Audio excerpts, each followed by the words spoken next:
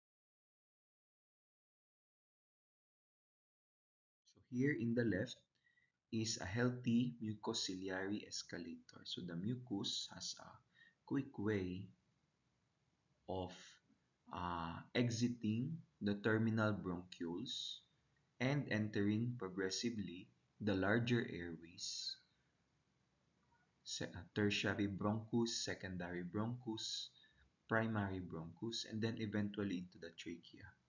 And in the trachea, it will still continue to beat upwards up into the mouth. Okay? But if you have an unhealthy mucociliary escalator, as what happens in a person who smokes, the movement of the cilia, the beating of the mucus is slow. So that mucus will tend to stay longer in the airways.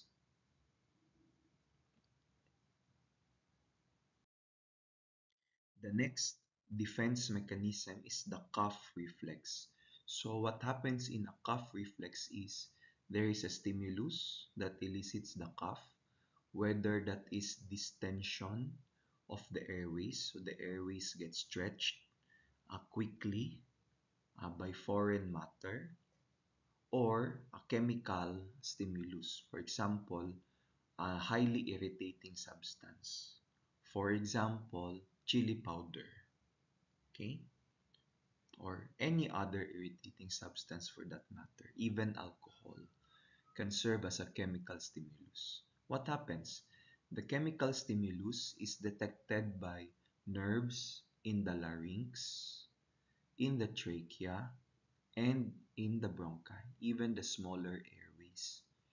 In the trachea, a particularly sensitive structure would be the carina. The carina is when the trachea bifurcates or divides into two bronchi. So that region where it divides is extremely sensitive. The inner surface of the voice box or the larynx is also very sensitive towards these stimuli. So what happens? The nerves transfer the information to the vagus nerve, which is your cranial nerve number 10. And then the vagus nerve transfers the information to the cough center in the brainstem, where in particular the cough center in the medulla oblongata. And so the information, uh, after being interpreted as a noxious stimulus, by the medulla oblongata, the information is met with a response. The medulla oblongata then sends out a response to trigger the laryngeal and respiratory muscles of the abdomen and diaphragm to have a coordinated activity to produce high velocity, high pressure air, which when released quickly produces the cough. So how does that happen? How does um, the medulla oblongata coordinate the cough response? There will be a quick, um, rapid inspiration. So the first phase is the irritation and this is the sensing phase. And then what happens? There will be a rapid um, voluminous inhalation, air will quickly fill um, the passages and the cavities. And then what happens? The vocal cords close. Okay, so it traps the air inside. Then what further happens?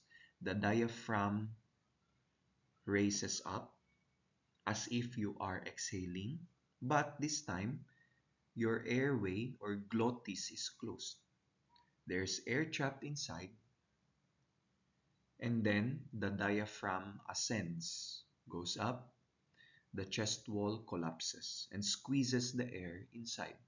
And so what happens here is you are generating a lot of pressure. Okay, and then what is the uh, last phase? Expulsion.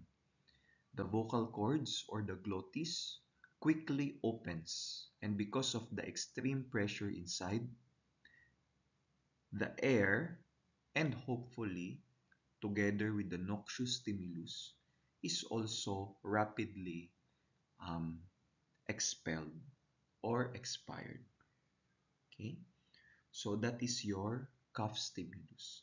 Rapid inhalation, closure of the vocal cords and generation of pressure, and then rapid opening of the vocal cords and also forceful expulsion of air together with the noxious stimulus.